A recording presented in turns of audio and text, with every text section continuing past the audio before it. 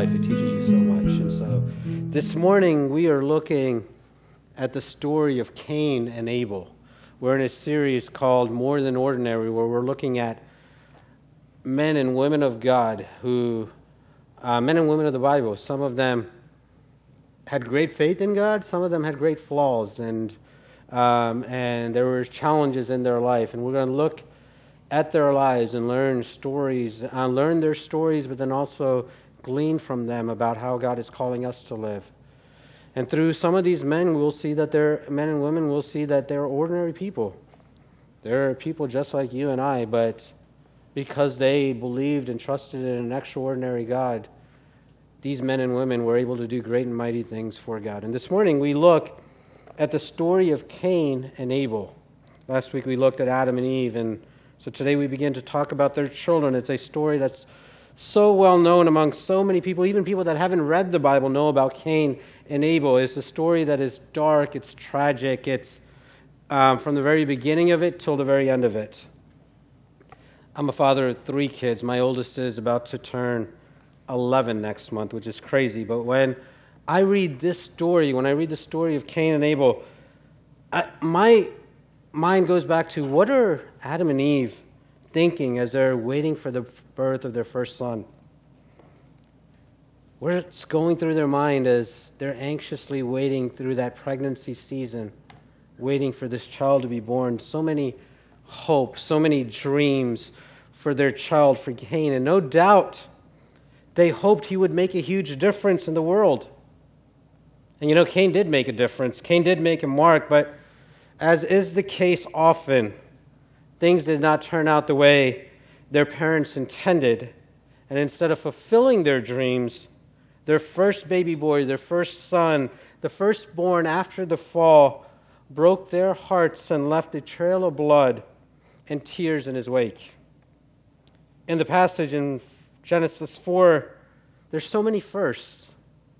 There's the first birth, there are the first brothers, there's the first shepherd, there's the first um, farmer, there's the first offerings, there's the first worship service, there's the first murder, there's the first cover up. And the key to understanding this story is found in one word that's repeated over and over in the first uh, nine, 11 verses. It's the idea that Cain killed his brother. Cain kills his brother, and that point is made in numerous verses here. The shock of the story is not that Cain just killed a man. It's not that he just found someone and killed him, but the fact is, Cain killed his own flesh and blood. He killed his own family. The word is repeated over and over so that we'll never forget it. And there's so much in this story that we don't know that we wish we knew. Like questions come to my mind of what was the age difference between Cain and Abel? How, how, how, how many years apart were they? What were their growing up years like? Why did one of them choose to become a farmer and the other one choose to become a shepherd? How did they know that they were supposed to bring an offering to God? How did Cain know that Abel's sacrifice was accepted, but Abel's uh, Cain's sacrifice was rejected? What was the mark that's talked about that God puts a mark on Cain? What was that mark? What does that look like? You know, for all of these things, we must simply say that we don't have enough information to give a definitive answer. But there are two things we know for sure from this story. Number one, the first murder takes place within a family context, it was within a family. And number two, the first murder takes place immediately after a worship service. Think about that for a second. Both of them were standing before God, worshiping, giving an offering. Modern day context, they might have been here singing songs, hands raised. And as soon as they walked out of here, the other side came out. We might read this story and say, that's not us. Cain is not me. But can I suggest to you that Cain is exactly us?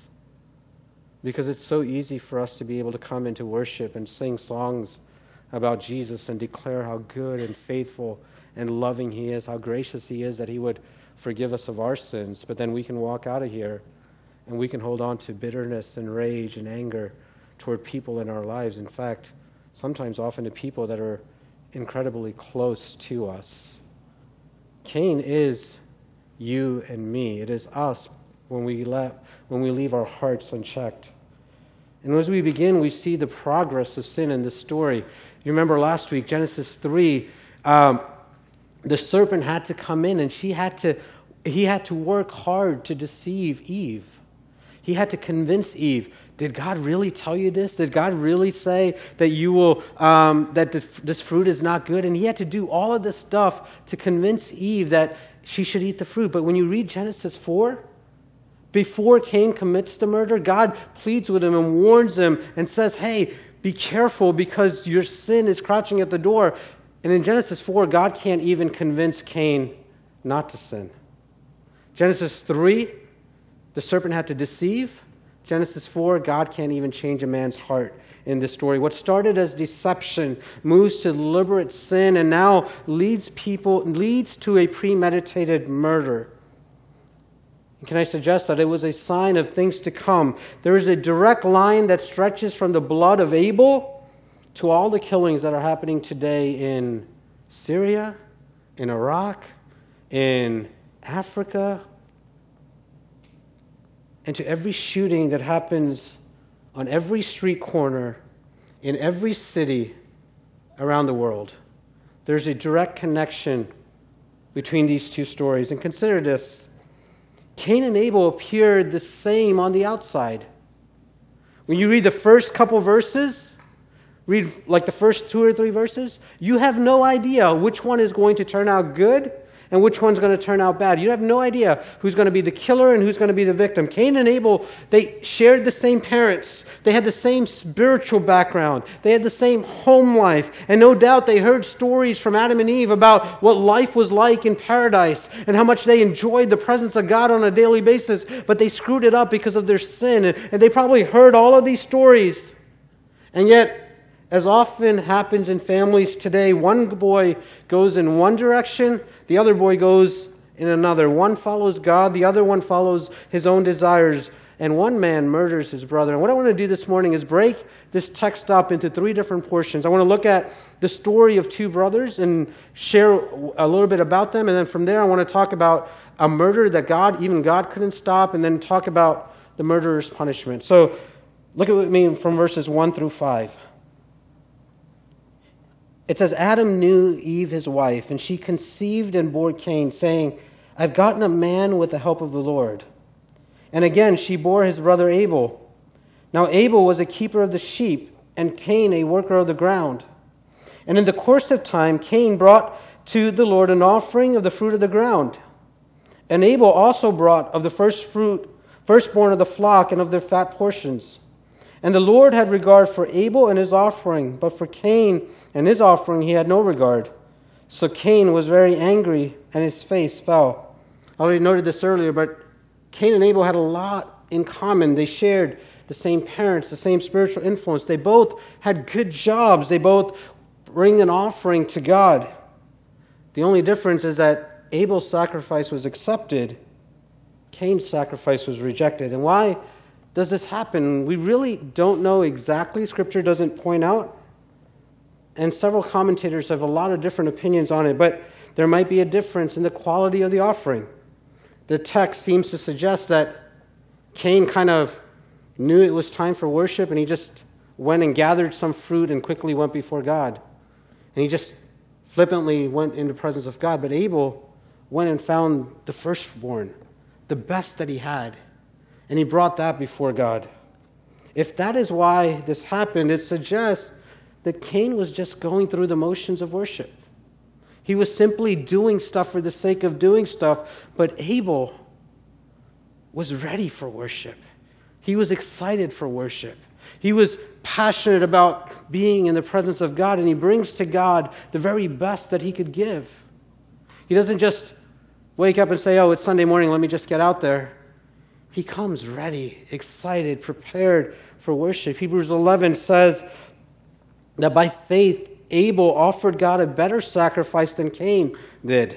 By faith, he was commended a righteous man when God spoke well of his offerings. And by faith, Abel still speaks, even though he's dead.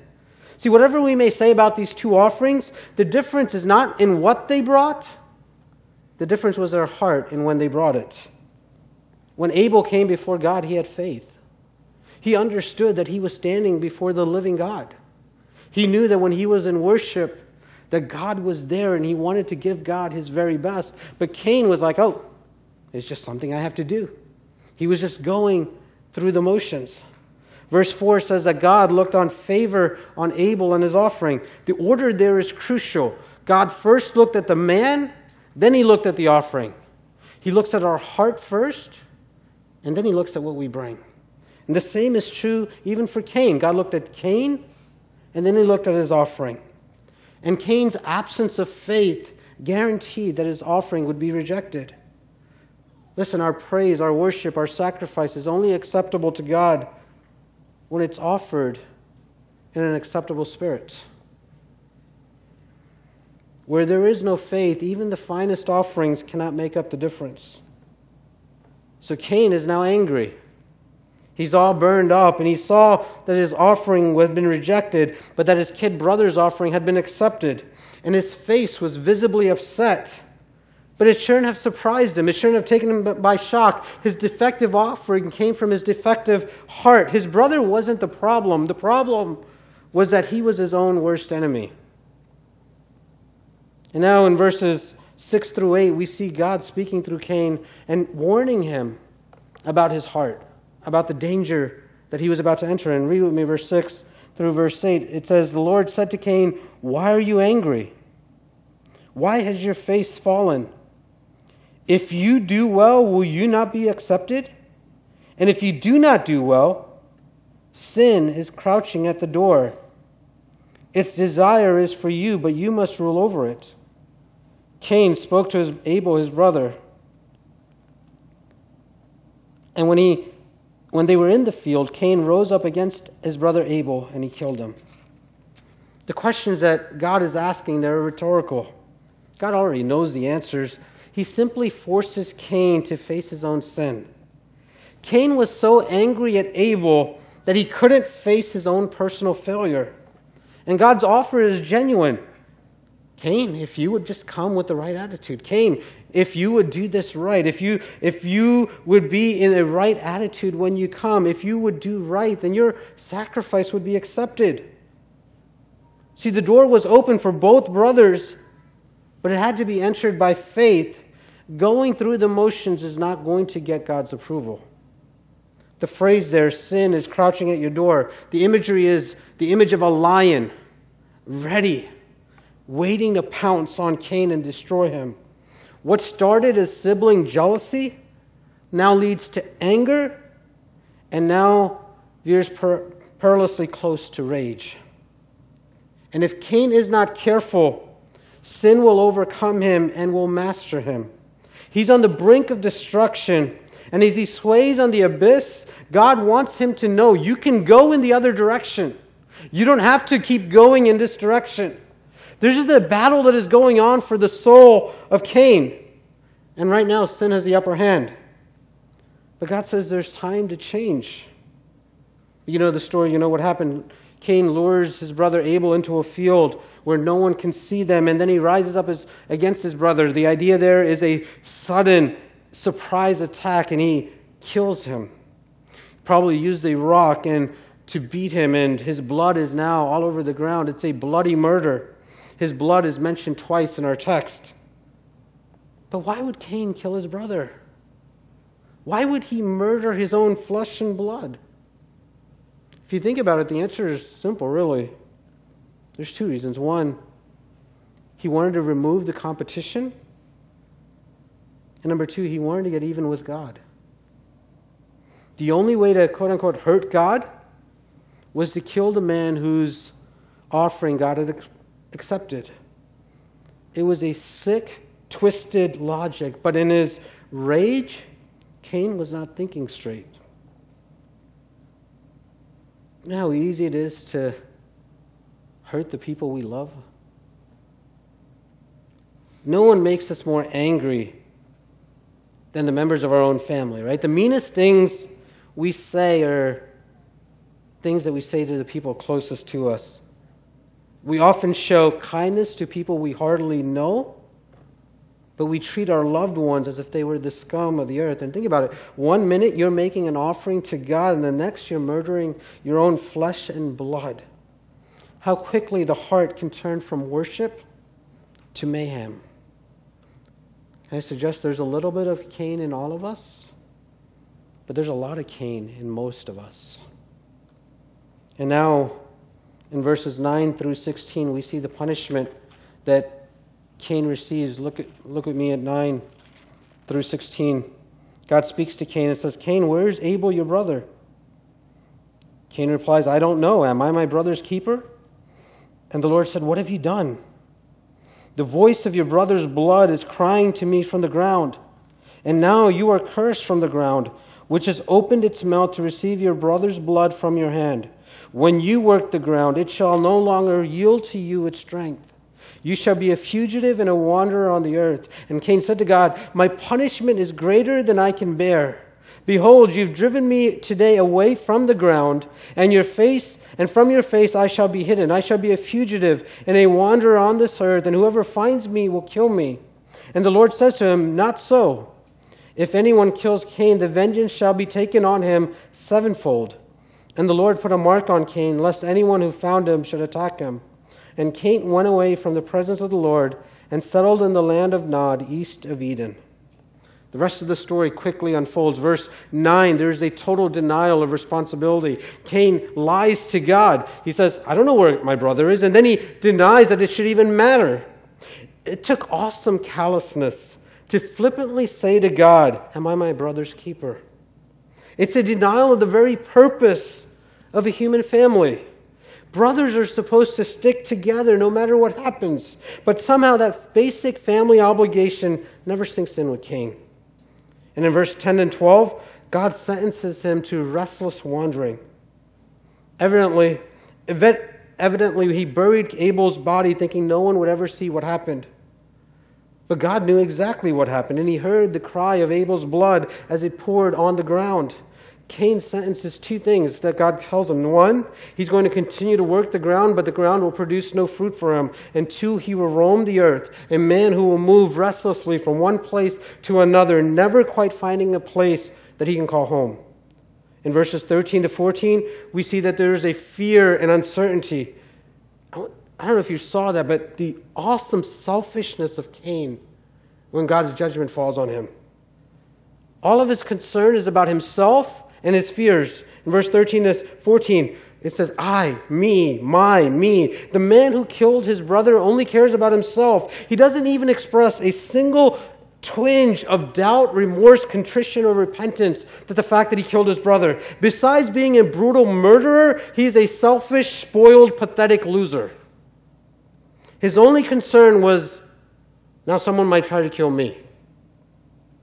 And in verse 15, we see God's promise of protection in the midst of punishment.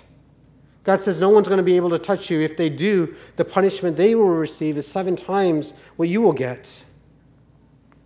See, whatever the mark was, we don't know for sure what it was, it guaranteed Cain a very long time to live. And that was a blessing and a curse. It was a blessing in the fact that no one would kill him, but it was a curse because he will now live a long, restless, unfulfilled life. But the protection of God will afford him time to get right with God, even though there is no suggestion in scriptures that Cain ever did get himself right with God. Verse 16, we see that he ends up living his life wholly, completely apart from God. Here's one of the ironies of this story you know, God would have been fully justified to kill Cain immediately. Eye for an eye, tooth for a tooth, life for a life. But the righteous man dies in this story, the guilty man lives. Thus, we see the mystery and the mercy, mercy of God. The word nod, where Cain eventually goes to, literally means wandering.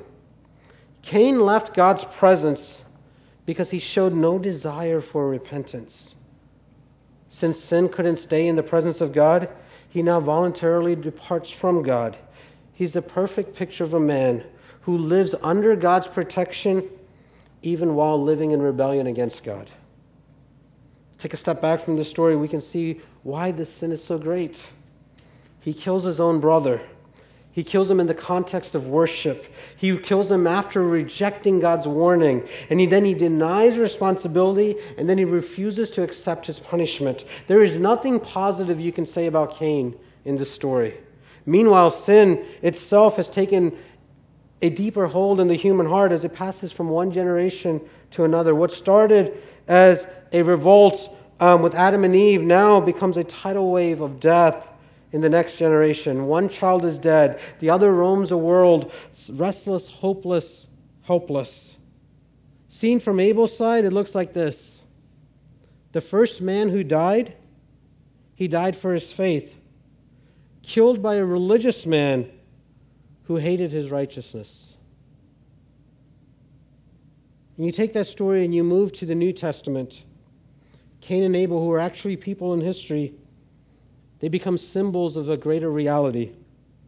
In Matthew 23, Jesus cites Abel as the first in a long line of martyrs who were put to death because by those who reject God. In Hebrews 11, we read that he's the first example of someone who lived by faith. In Hebrews 12, it talks about the blood of Abel that cries for justice. As for Cain, 1 John talks about him as an example of one who belonged to the devil and whose life displayed hatred that led to murder. He's the prototype unbeliever who does not know God and does not have eternal life. And Jude 11 speaks of false teachers who follow the way of Cain, meaning that they not only reject the truth, but persist in following falsehood and leading others to destruction along with them.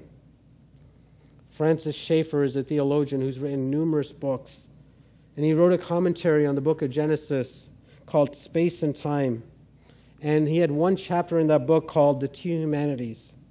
And he sees Cain and Abel representing two great divisions in the human race. Cain is the first unbeliever, while Abel is the first true worshiper of God.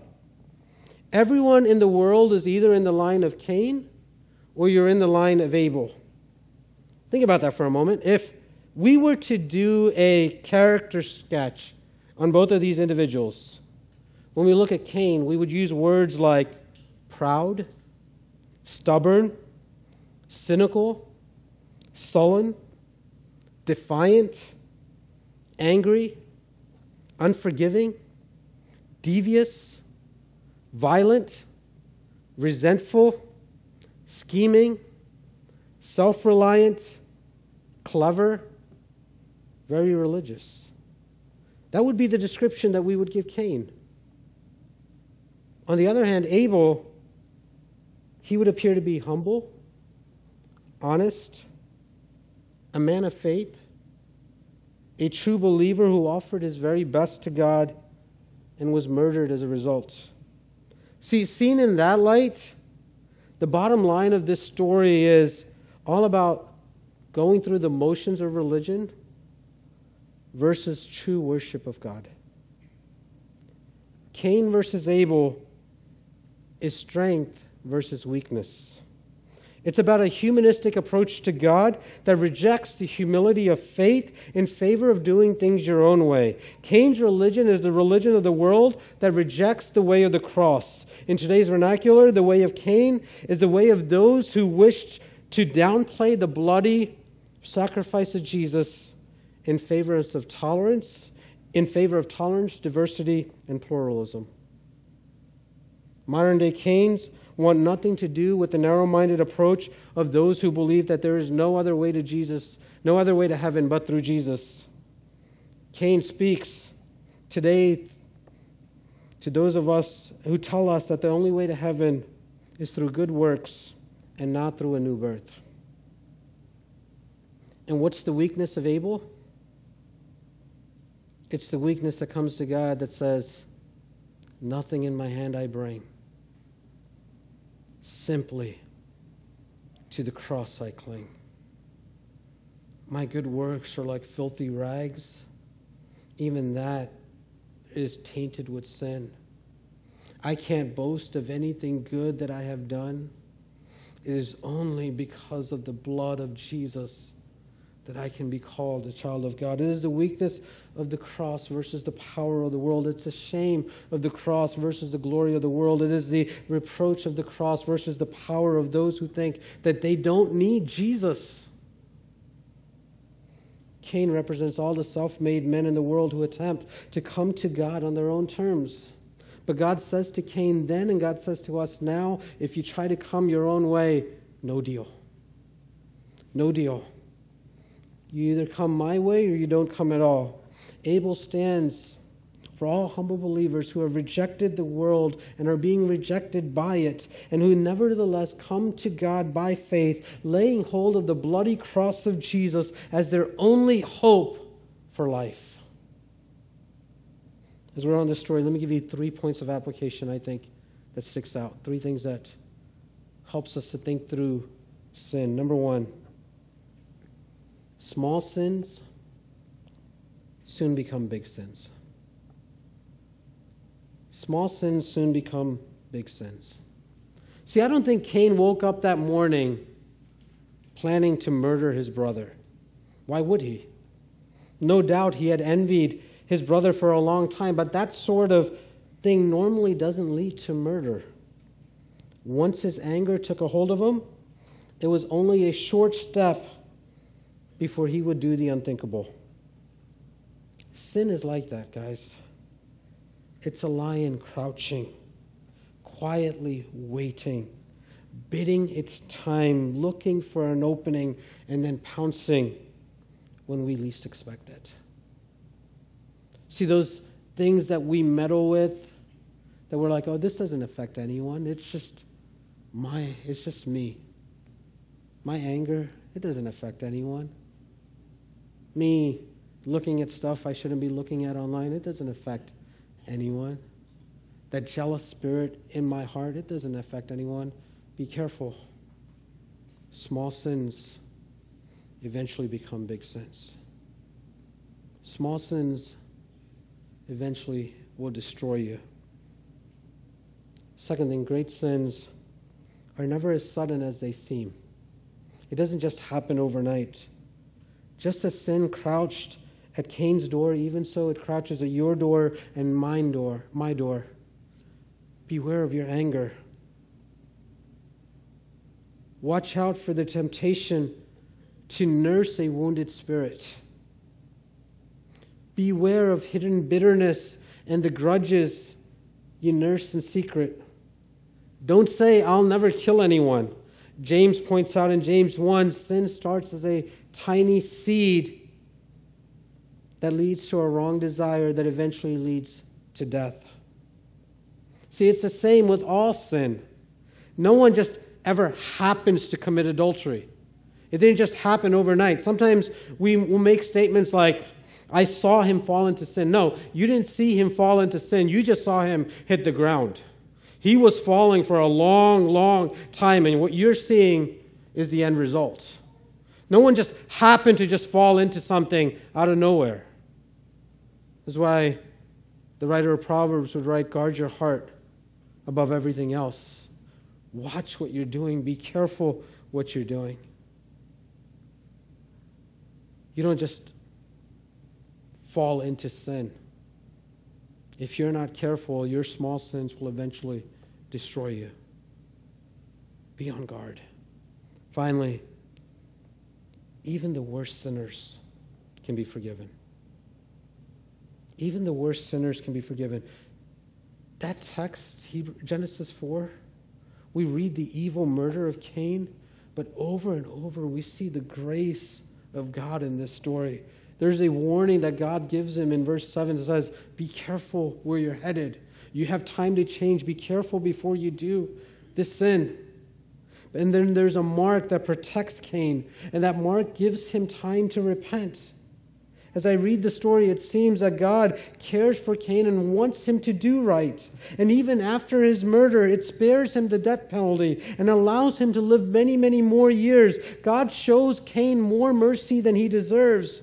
We see no evidence that Cain repents, but that doesn't conceal the truth or cancel the truth that he had so many opportunities to do so, but apparently never took advantage of it. I think Francis Schaeffer was so right when he speaks about Cain and Abel as two leaders in the two great lines of humanity. They represent two seeds, two directions, two value systems, two moralities, two races of people. They're real people, but they also stand at the headwaters of the human race. You are either standing with Cain in unbelief or you are standing with Abel in faith. And you see, the ultimate irony is the followers of Cain and the followers of Abel, they're thoroughly mixed together.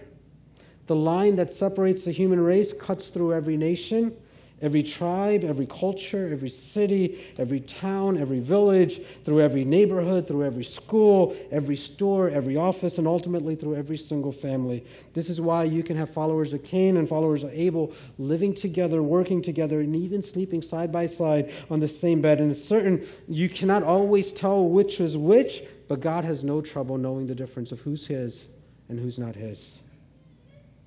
Abel represents those sinners who come to God by faith in Jesus and therefore receive salvation. Cain stands for all of us who are proud, self made people that think that we bring something to the table when we come to God and that God has to accept us based on what we did. It is a way of religion versus the way of faith, the way of self righteousness versus God's righteousness. Do it yourself religion versus putting your faith in Jesus. See, on the basis of that truth, I have to ask offer you a word of warning. Your religion will not save you. Listen, even good religion will not save you. Showing up here every Sunday morning will not save you. Being baptized will not save you. But can I suggest to you, your religion will damn you? Because if you think that because of what you've done, done God has to accept you, you will be damned. God will look at you and say, No deal. Even good religion can send you to hell if you don't have faith in your heart. Cain would have made an excellent church member. I mean, he brings an offering. Most of us forget to bring an offering on a Sunday morning, but he brings his offering. Except for this one fact he was lost he was lost. You can write over this story the ancient words of Jesus in John 3 You must be born again. There is no other hope, there is no other way. If you want your life changed, you must step out of the line of Cain and into the line of Abel by trusting Jesus and accepting his death as the complete payment for your sins. So let me press the question to every person in this room listening Have you been born again? What's your answer to that question? See, if you answer no or I don't know, then can I encourage you this morning to run to the cross? Run to Jesus. Because listen, He loves you. You're here because He loves you. You're here because He cares for you and cares for your soul. Put your faith in Jesus who loved you and died for you. Lay hold of Jesus. Open your heart to him. If you want salvation, you must enter by the way of cross, or you cannot enter at all. Know, there's one final irony of this story. Cain the evil murdered Abel the righteous. The man who believed God died the guilty man lived. Cain appears to get away with murder, but that's only a temporary judgment. In the end, Abel looks good and Cain looks bad. Those who live by faith in this world may not be famous or popular, but they may and they might not be appealing to the world. But you know, in the eyes of God, Abel was declared righteous by God, even though he was murdered. See, you can't always tell whom God approves by how well known or how popular they are. And you can't tell whom God approves simply by how long a person lives. Just the fact that you live a long life doesn't mean you have God's approval. I look at these men and women who are losing their lives for Jesus in Syria and Iraq. I'm saying these men and women are hearing, Well done, good and faithful servant, by their Maker. Just because you live an old, long life doesn't mean you have God's approval. Death is never the last word in the life of a righteous man. Abel is murdered, yet he's the one who went to heaven. Hebrews 11 says that even though Abel is dead, he still speaks to us. See, it's ironic, ironic because when he was on earth, his faith couldn't even convince his own brother. But now that he is dead, his faith speaks to the entire world. And he is more alive today than he was when he lived on this earth. Listen, that's what faith does. Listen, though the world may hate you and they may even try to kill you, it cannot destroy you. That's why Scripture says in Romans 8 what can separate us from the love of Jesus? Not even death. For those who are in Christ Jesus, our God. As we come to the table this morning, I want to invite you to examine your heart. Only you know your motive and your reason for being here. Only you know whether you're here to gain acceptance by God based on what you do that somehow because you're here and you're doing this stuff that God is going to accept you. Or you're here because you know that he's already accepted you and you are now here out of an overflow of worship and gratitude for what he's done in your life. Only you do know that. Would you examine your heart this morning? Are you trying to get God's approval and therefore doing the things that you do? Or are you doing the things that you do because you already have the approval and the acceptance of God? And if it is the former, can I suggest to you that you are headed in the wrong direction?